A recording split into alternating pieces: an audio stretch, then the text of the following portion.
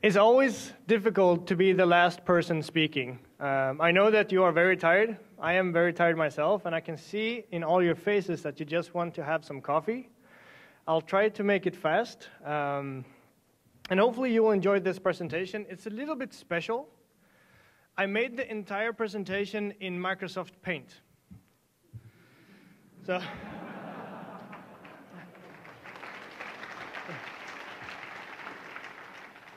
My, uh, my daughter actually told me, Daddy, you have the best job in the entire world because you can travel the world, do presentations, go to very nice places, and then when you come home, you can paint. So I do think I have the best job in the entire world. Um, I'm here to talk about some of the things that the previous speakers did talk about. I'm going to talk about how I hacked my home. Um, this presentation is also a little bit special because the vulnerabilities that I found has not been fixed. I have reported them for over one year ago, but they have not fixed the vulnerabilities yet. So I actually had to censor my presentation because what I'm going to do is I'm going to do some live demonstration. I'm going to hack a device that I brought from Sweden. This is the device. This is the only device I can, I can bring because my suitcase is not big enough to bring a TV. So, who am I? I am David Jacoby. I am a, a security researcher. Yes, this is me. um, I work at Security Lab since about four and a half years ago. I joined the company. Uh, I'm responsible for security research in the Nordic region and also the Benelux region.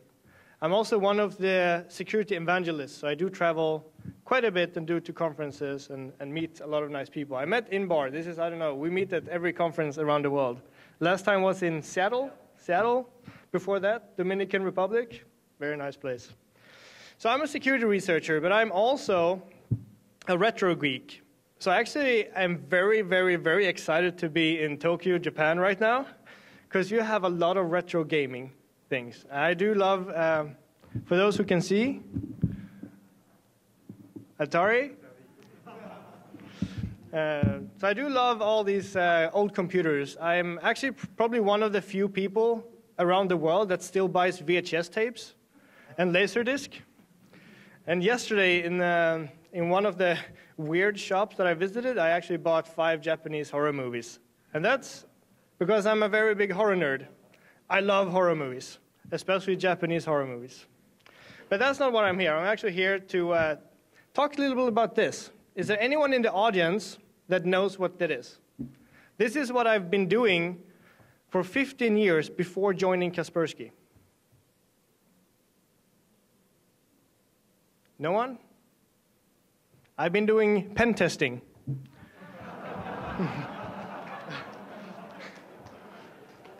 so, arigato.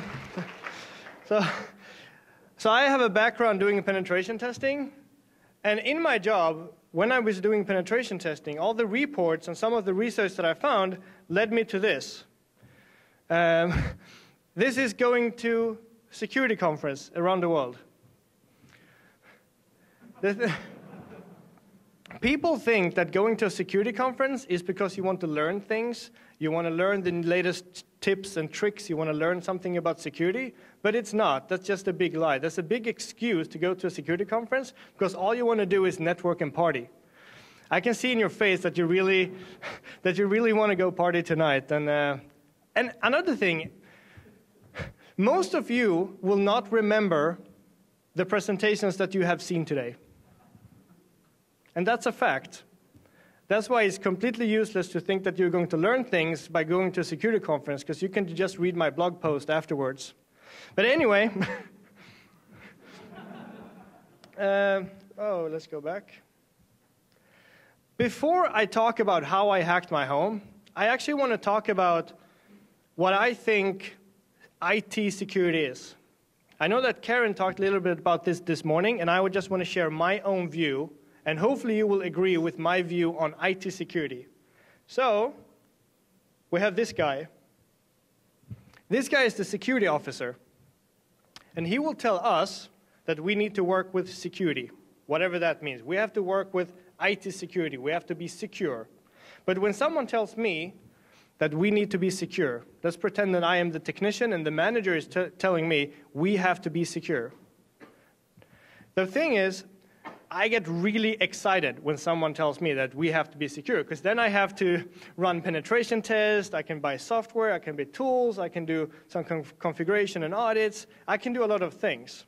The problem is, when I try to explain to the management what we're doing in the, to actually build security, we don't really speak the same language. IT guys and management don't really speak the same language, so the management they don't really understand what we are saying. We're talking about fixing buffer overflows, patch management, network segmentation, uh, authentication. This is all the stuff that management don't understand. So they, they look at us and say, we don't understand. But there's one language that they do understand, which is money, the money language. and for some reason, it doesn't matter how little money the IT department asks for is always too much, especially for a company who has not been a victim for an accident. They will say, We're not going to spend this money, sorry. Doesn't matter how little money you ask for. And while we're fighting, what do you think the bad guys are doing? Of course, they are continuously trying to act, attack our systems, they're trying to test our network, and one thing that we've seen as a trend, they also try to look at our reaction.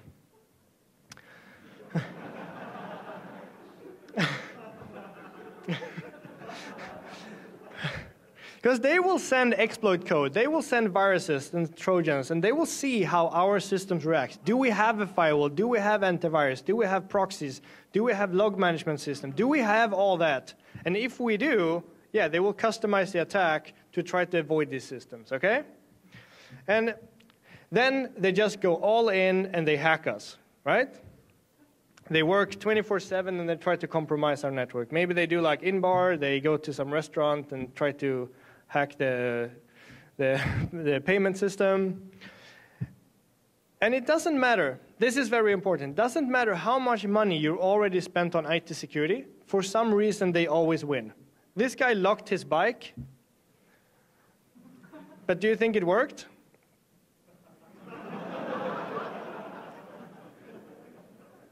right, for some reason his protection did not work, right? Because the attacker had a new way of uh, exploiting the system. And we don't understand where the attack is coming from, right?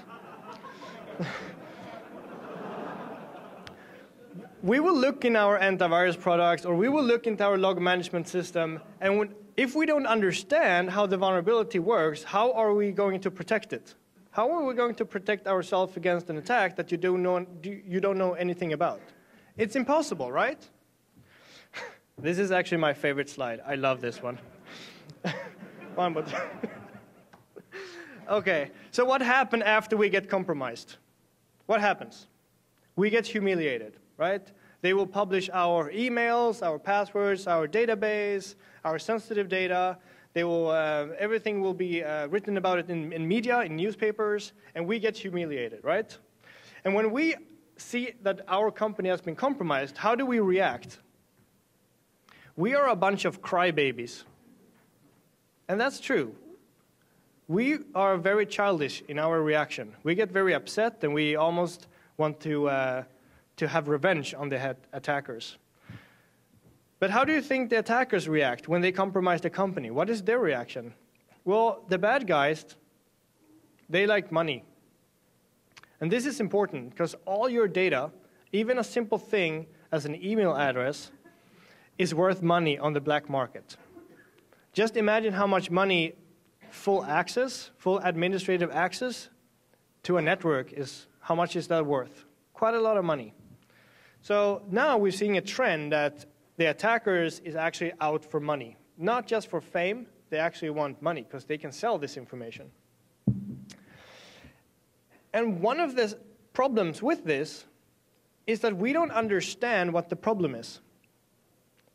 The IT guys is saying, we don't have enough time to fix the vulnerabilities. We don't have enough money to fix the vulnerabilities. We have different priority so we cannot fix the vulnerabilities. And the management is saying, why didn't you fix the vulnerability? You should fix this. But if we don't have time and resources or money, how are we going to fix the problem? And if we don't even know what the problem is, how are we going to fix it? Because we in the industry, we have a really big problem. And now I want everyone to listen, because this is very important.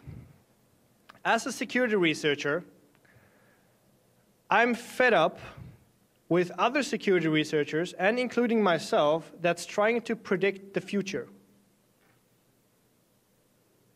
Do you know how many times I get the question, what kind of threats do you think we will see in the future? It's not relevant because we cannot fix the stuff that we have been talking about for 30 years. So why should I try to predict the future? If we're still vulnerable, as we saw in the last presentation and in Inbar's presentation, and I haven't seen all the presentations today, but we've probably seen it in other presentations as well, the vulnerabilities that we're actually vulnerable against is 30 years old. Why should I care about the next generation threats? Think about that. So, the company is compromised. There's always a smart guy saying, We have a recovery plan. We will fix this. I'm very positive. We will fix this. And now they also have proof that they need to spend money and time and resources on IT security. So they try to fix everything at once. They will replace printers, routers, they will buy server, servers, they will have consultants, they will do a lot of things to fix the network. But still, if you don't know what you were vulnerable against, how are you going to fix it? You cannot. So we work 24 7 without knowing what the problem is, and we try to fix this. Right? We do all these things. But does it help? We have this fantasy or this view on that when we're done, this is how the firewall should be. This is how our security should be. The attackers should just, just be bouncing off from our system. They should not be able to attack us.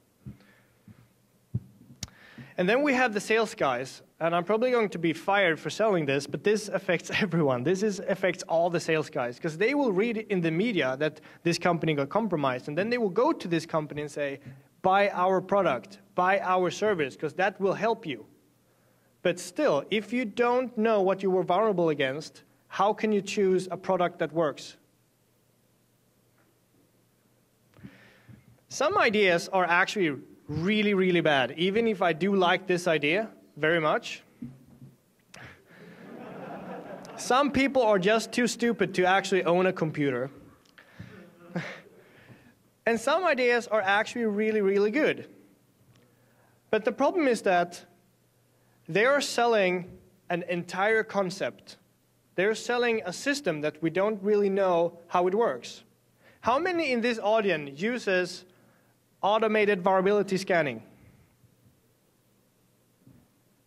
No one? No one? Automated vulnerability scanning. Sell it? Sell it?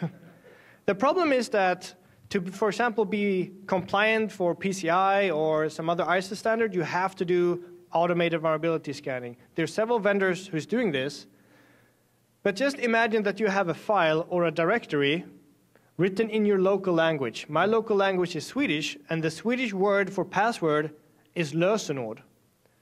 Just imagine that I have a file on my web server called lösenord.txt containing all my passwords. There's no automated vulnerability scanner in the entire world that will find that file because it looks for password.txt. It does not look for Swedish words, or Japanese words, or German words, or Spanish words, or Italian words.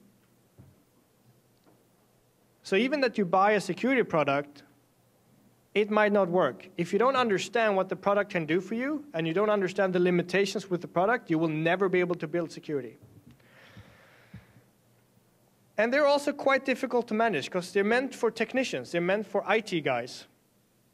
So when you do get the product, sometimes it's very difficult to implement it in your network. But after a while, when you spend time implementing this product, you think that you have the perfect security, right? You think that you have something great because you fixed everything. But if you don't know what the vulnerability was in the beginning, how can you fix it? This guy buys a very nice lock for his gate.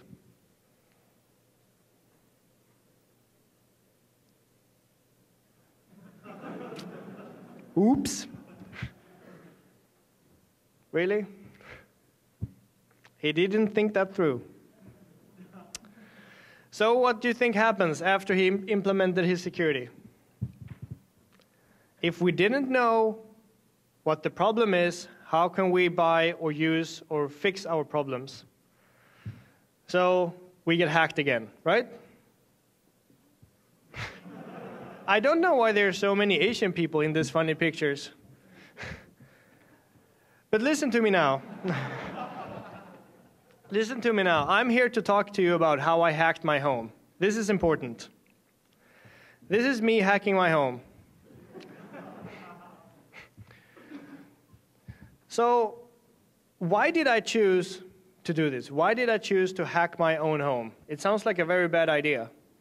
But the thing is, I was looking, in, looking into network connected devices, and I was searching for the term Internet of Things, which I don't like either, but I was searching for it and trying to see what kind of other research has been published, uh, has been written about.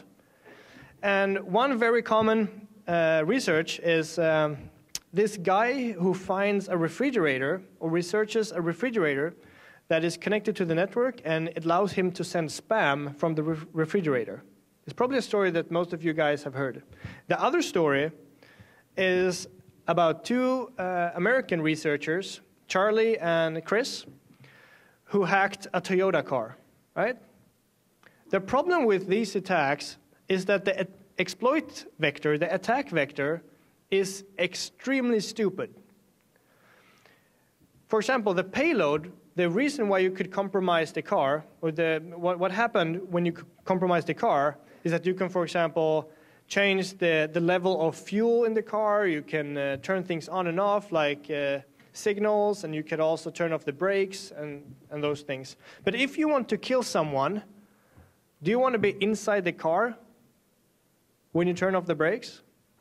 Because the attack is that you have to use your own computer with a cable connected to the car, have a special written program that will allow you to shut off the brakes. But you have to be inside the car when that happens. So once again, do you want to be inside the car when you turn off the brakes? No. Not if you don't want to commit suicide, but it's, a bit, it's, a, it's quite a difficult ex exploit vector, attack vector. So I thought, instead of focusing on these products, like a refrigerator or a car, I decided to look into my own home. What do I actually have in my home right now. Because I don't know about you, but I personally do not have a refrigerator that's connected to my network. Do you guys know anyone who has a refrigerator that, that the refrigerator is connected to the network? No. So if I find vulnerabilities and I talk about something that no one uses, how, how effective is that? So I decided to see what do I have in my home. And I'm a security nerd. I've been working in the security industry for many, many years. And I thought, I don't have that many items. So I thought, how do I actually get these devices? Normally, you go, you go to a retail shop um, and you buy a TV, and there's a salesperson trying to sell this TV to you. And I don't know about Japan, but in Sweden, they always try to sell the TV with the most functions. If it has Bluetooth and Wi-Fi and can make coffee and can clean your floor and can do the dishes, then it's a good TV, right? So we buy these devices without actually knowing what we're going to use all these functions for. Because ask yourself, if you would buy a new TV tomorrow, would you buy a TV with Wi-Fi or without Wi-Fi? Most people will probably buy with Wi-Fi, right? And then I ask you, why do you need Wi-Fi? Streaming is not very popular in Sweden yet. And if you do have some kind of streaming service, it's through the digital box and not through the TV directly. So the TV itself does not really need Wi-Fi. But after we bought this device, the sales guys, this is the sales guys at the bottom, this is their reaction when we leave the store. Because they sold a more expensive product for us and they made more money. And what did we get? We get actually a more vulnerable device. But okay, hacking my home like a boss. In my home, I had so many devices, which was a surprise for me. I had two TVs connected to my network. I had two Blu-ray players connected to my TV uh, to my network. I had a satellite box connected to my TV. I had an Apple TV. I had a PlayStation 3. Uh, I have a network router. I have two storage devices. And I actually have a Commodore 64 connected to my network. Don't ask me why, I just have it. but that was over 11 product that's connected to my home network. And this is product which I have zero control over. So I started to look into these different devices. And I started with my two network storage devices. And I was just thinking, can I find any vulnerabilities in these devices? Within 20 minutes, I had remote code execution as root on the device. And as we saw in the previous presentation, this device was vulnerable to some very similar vulnerabilities. You send an argument, and the argument was passed to a system function which executed everything as root. No authentication, no nothing. And we in the security industry, once again, need to take more responsibility what we talk about and how we help people to improve security. Because we in the industry has been talking about doing backups for 20 years maybe, 30 years.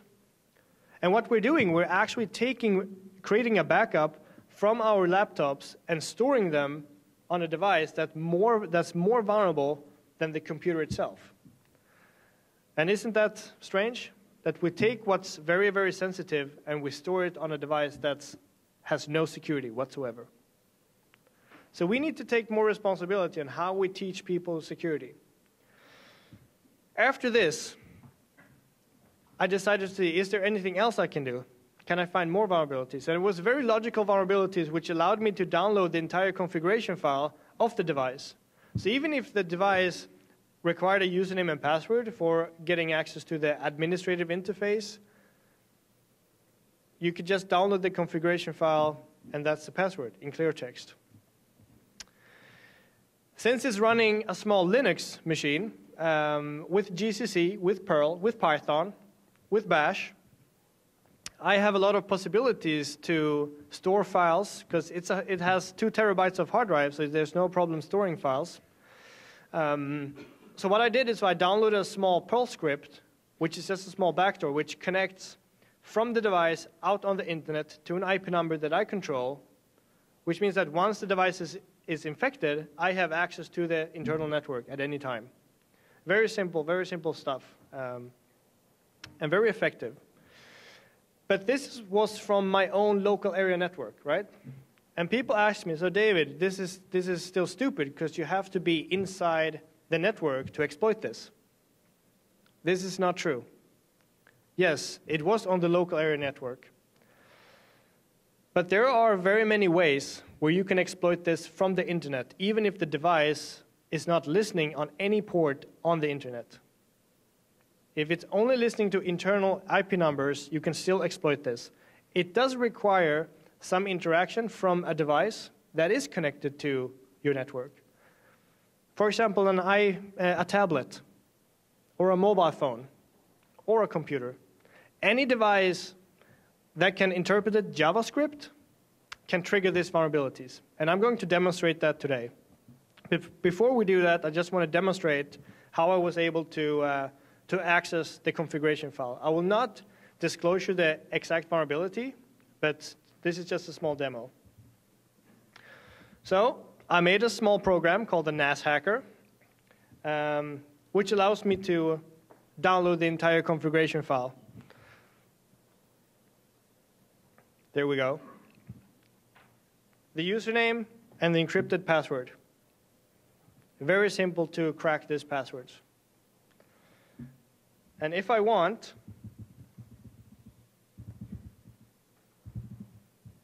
I can also get code execution. But once again, this is from the local area network. How do I trigger this remotely?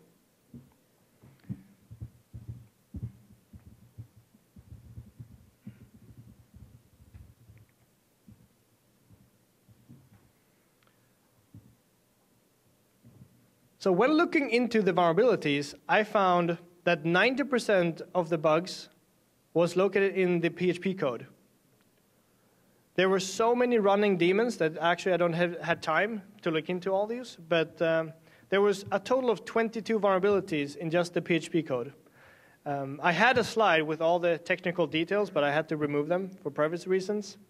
But I can tell you that all of the 22 vulnerabilities in the PHP code was the same vulnerability as we saw in the previous presentation. Everything was just sent directly to a system function in 22 places in the PHP code.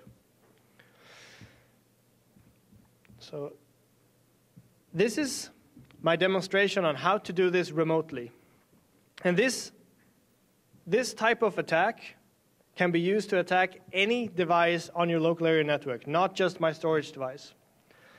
So this is me in the top corner the square guy. And then we have the internet, we have a firewall, and I have my devices behind the firewall. One of the attack vectors that I'm going to demonstrate right now is that I send you an email or a Facebook message or something with a link. You know how we normally use social media? We click on, on links to funny videos and we look at the funny videos and we press like and we do all that stuff. So just pretend that I'm sending a link to a website with a funny video. While you're watching the video, something's happening in the background. Because when you click on the link, you access my website. And on my website, there is this funny video. And this also affects any iPad, iPad or tablet or, or mobile phone, not just computers. And when you are looking at my video, there is something magical happening in the background. It's very simple. What I'm doing is I'm enumerating internal IP numbers on your network. Because I am pretty sure that I can guess your internal IP number range in your home. I'm pretty sure it's 192.168.0.0 or 192.168.1.0 or 10.0.0.0, right? If I can guess this range, I can guess IP numbers that's inside that range through a JavaScript. And all these devices that we have connected in our homes, most of them have a web server. And by connecting to the web server and looking for a specific path, for example, to a picture, I can enumerate the device. I can see this is a storage device, this is a TV, this is a Blu-ray player, this is a printer, this is something. Because maybe the logo for the company has, a, um, has an image stored on the web server, something that's static, something that I can measure. Like if this image exists, I know it's that kind of, kind of device. And if I know what kind of device it is, it's very simple for me to send my exploit code. And I thought that we're going to demonstrate that right now. Hopefully it works because it's 100% live, so I really hope it works. On this machine, I am pretending that I am a, an attacker somewhere on the internet, listening for incoming connections, right?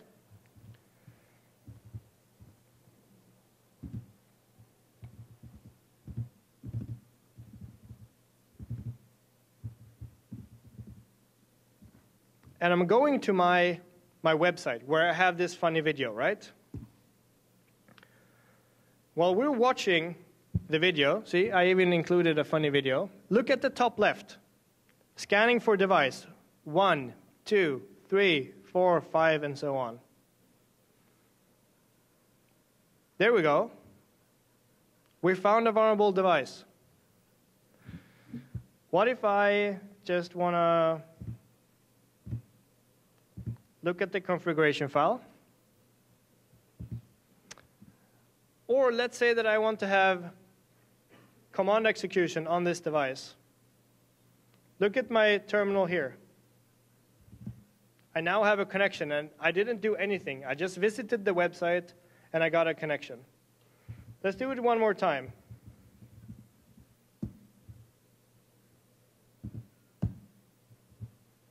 And just look at this screen now. Now, in the background, we're doing the same scan over and over again. It's looking for the internal IP number. As soon as it finds the device, it will send the exploit code. The machine will connect to the internet to my device that I control, my command and control server.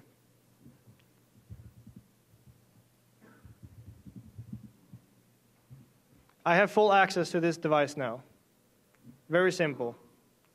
And this is while you're watching a funny video on the internet. And this works from any device tablet, phone, computer, as long as it's connected to the same network as you are.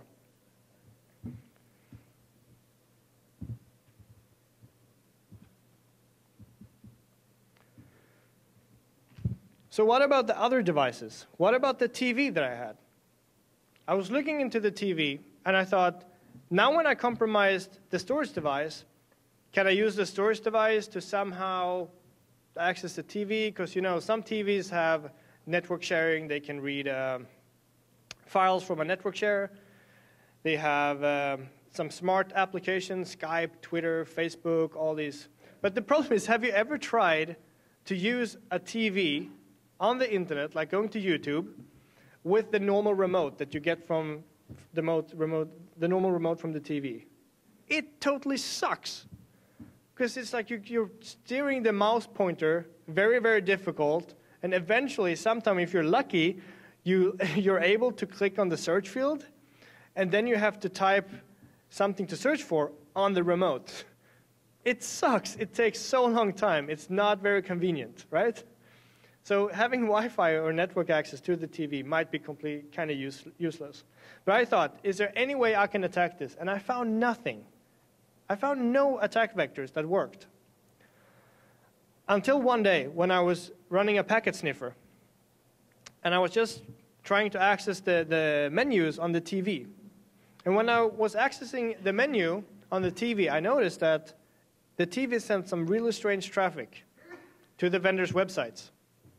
Because what happened is that when you access the menu, all these smart applications is being downloaded because they want to have the latest version directly from the vendor's website without using HTTPS or any signing or any certificates, which means that you could do perform a man-in-the-middle attack on the TV.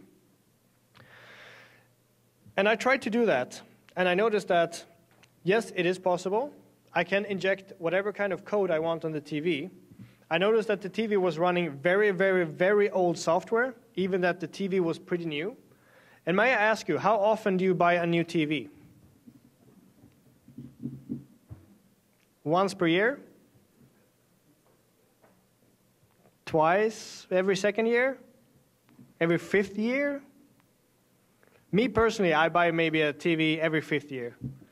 And if I told you that you had software vulnerabilities in your TV right now, would you go to the local store and buy a new TV?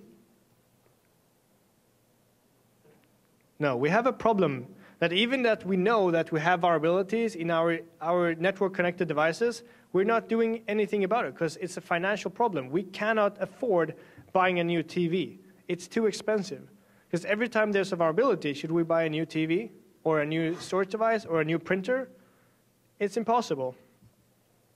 But I decided to, to do a demo. Does anyone know Borat? Have anyone seen the movie Borat? Jack Shamash, you know Borat? I decided to see if I could inject some code into my TV. So I injected a picture of Borat, and now I have a picture of Borat in my TV, which totally sucks.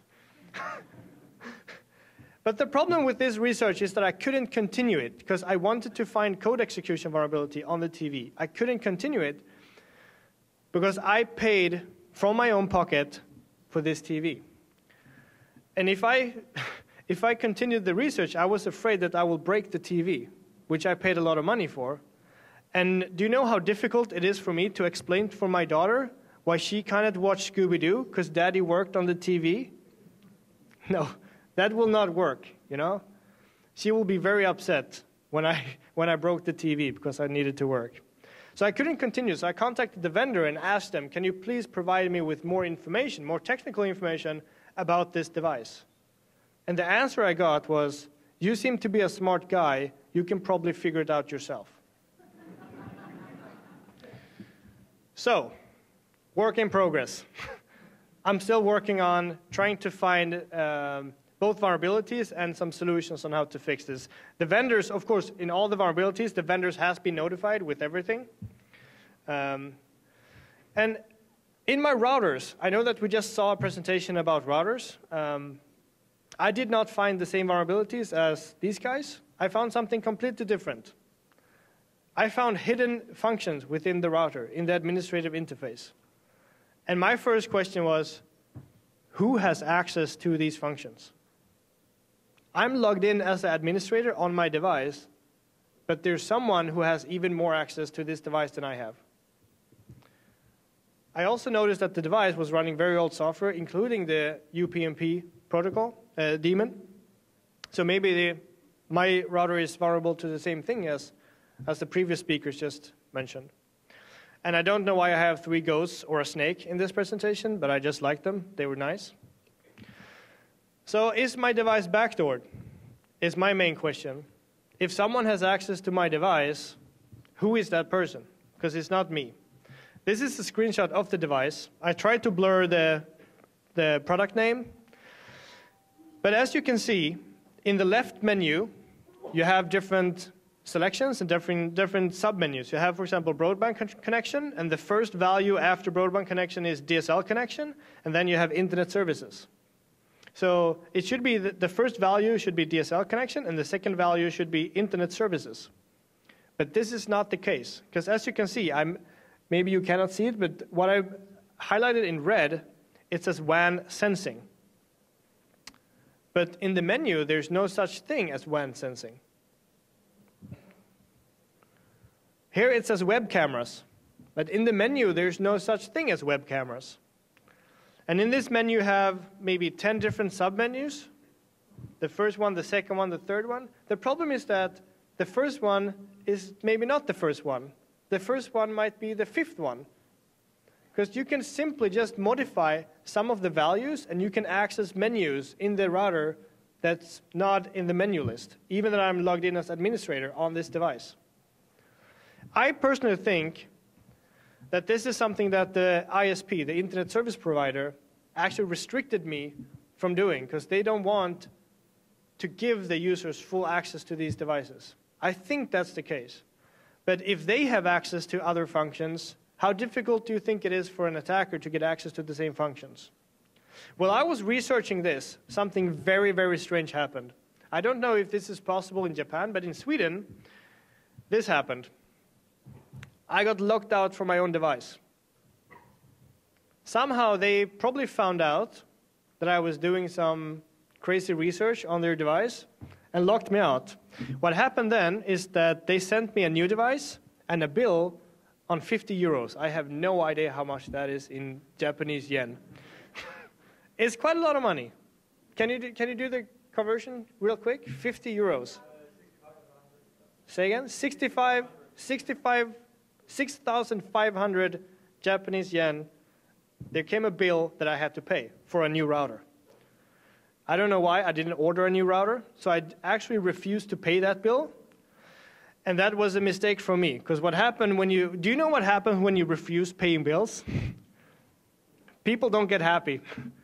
So there come a new letter saying, if you don't pay, we will come and take something worth that money from your house. So of course I had to pay that money, but I didn't give them my router. Crazy people. So what's my point? What's my solution? Because I can stand here all day, talk about the different vulnerabilities that I found. I do have a point. My manager asked me, so David, you spent about three months finding vulnerabilities in software, and we're an antivirus company. Why do you spend three months doing all this stuff, all this research? The problem is that we as an industry we don't know how to do security. We don't get it. We think we know how to do security, but we don't get it. One problem is going to security conferences like this. I'm pretty sure that a lot of people, a lot of security researchers, are doing very, very, very nice work, but they're afraid to submit a paper to a security conference because they think that the only thing that they have to talk about is super new, very high tech, super advanced exploitation techniques. I don't know if you agree with what I'm saying, but a lot of people are afraid to talk at a security conference because they don't think their research is good enough. We have to somehow break the ice. We have to somehow allow more people to talk about research. We also need to allow more people to talk to each other. We need to allow people to report vulnerabilities to vendors because what happened is that I reported all these vulnerabilities to the different vendors. There was one vendor, only one vendor, that replied with a positive email saying thank you. Two of the other vendors said, We don't even believe you that these vulnerabilities are real. I had to do a web, WebEx session, sharing my desktop, actually exploiting every single vulnerability with the development team from this vendor for them to understand that the vulnerabilities that I submitted to them was 100% correct. And even during the WebEx session, they said, your vulnerability does not work on our device. And the problem is that they didn't know how to exploit it on their own device, even that I gave them a full working exploit.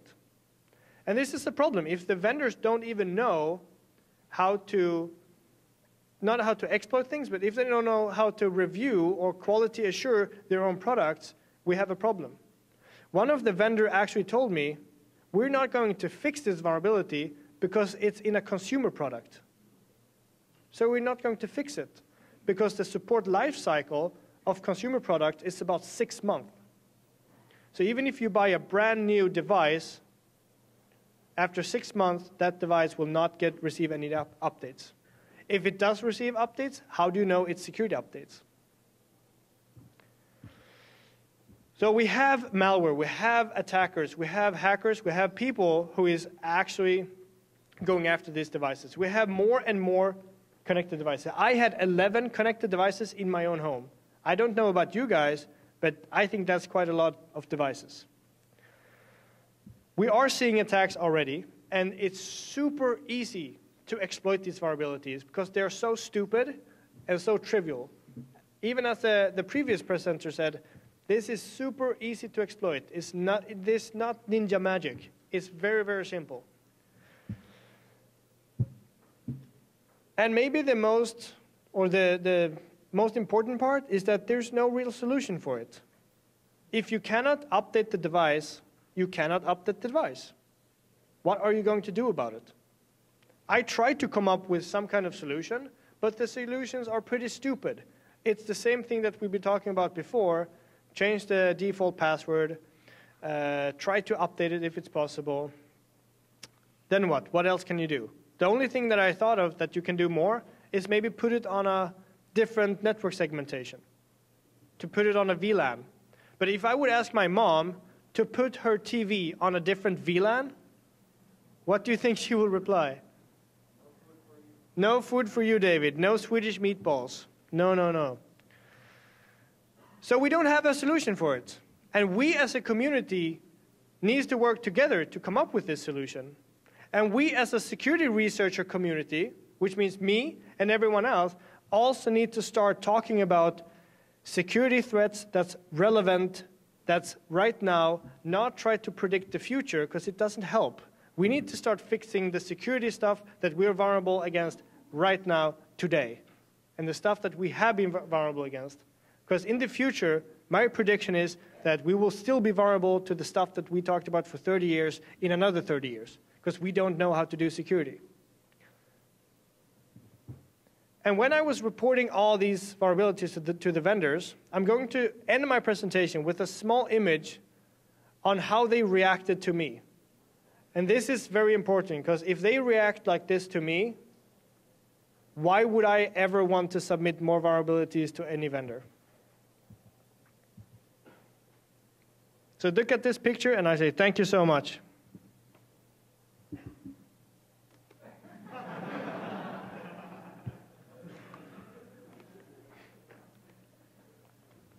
This is a response from the vendor. now party. No more presentations. Party.